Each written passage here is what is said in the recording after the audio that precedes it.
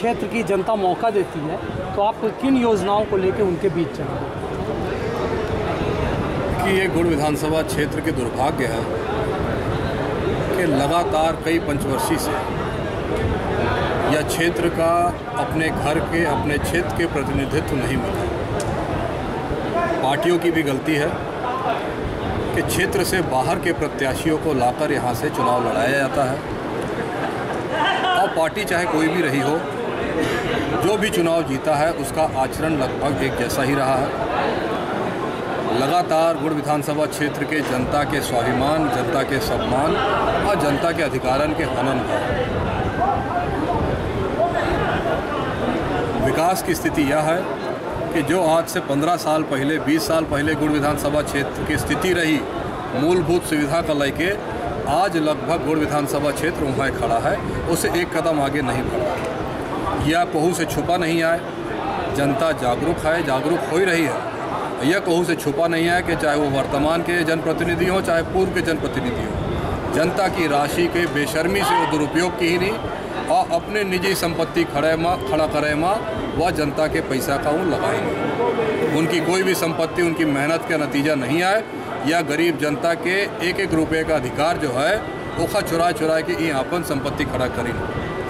यह बेर गुड़ विधानसभा क्षेत्र के जनता, गुड़ विधानसभा क्षेत्र के मतदाता यह संकल्प ले चुके हैं कि हम जेखा जिताऊ अपने घर के प्रत्याशी का जिताऊ बाहर के प्रत्याशी का जनता गुड़ विधानसभा क्षेत्र के स्वीकार करे के मूड में नहीं आए।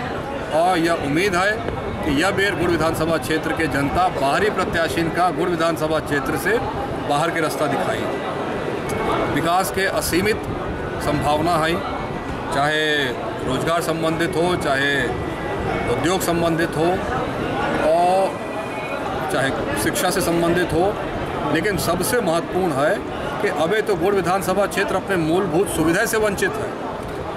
अगर हमें ये मौका मिला था, जनता के सेवक बन के, जनता के प्रतिनिधि करे के, प्रतिनिधित्व करे के तो सर्वप्रथम तो जो मूलभूत सुविधा है, उनका दुरुस्त करा जाए।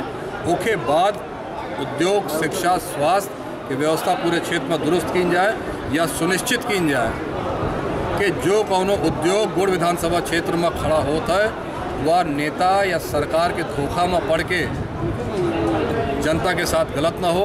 अगर हमारे विधानसभा क्षेत्र में वह प्लांट पड़ा है, वह उद्योग पड़ा है तो वह उद्योग में काम करे के, रोज़गार पावे के पहला अधिकार गुड़ विधानसभा क्षेत्र के जनता के और यहाँ वहाँ के कचरा। गुड़ विधानसभा क्षेत्र न तो चारागाह है कि कहू आए के चर के चला जाए, और न गुड़ विधानसभा क्षेत्र कोनो कचरा कूड़ा के मैदान है, जहाँ पूरे संभाग के कचरा ले आए के डंप की जाए।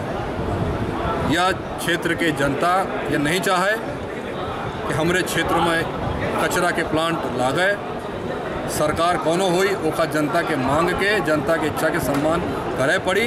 अगर सरकार ज़बरदस्ती करा थी तो जनता के प्रतिशोध, जनता के विरोध देखे मिली, और जनता के इच्छा के हिसाब से गुड़ विधानसभा क्षेत्र में काम हुई।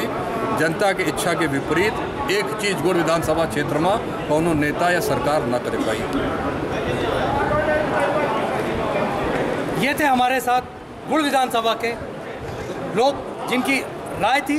इस बार विकास, स्थानीय प्रत्याशी, मूलभूत सुविधाओं का वहाँ पर विस्तार, कचरा प्लांट वहाँ पर नहीं चाहिए। जैसी बातों को लेकर इस बार वो लोग अपने उसी प्रत्याशी को चुन, चुनेंगे जो इन सारी बातों को पूर्ण करेगा। रीवा दर्शन के लिए मैं जावेद अंसारी, बलीकरण पासी के साथ।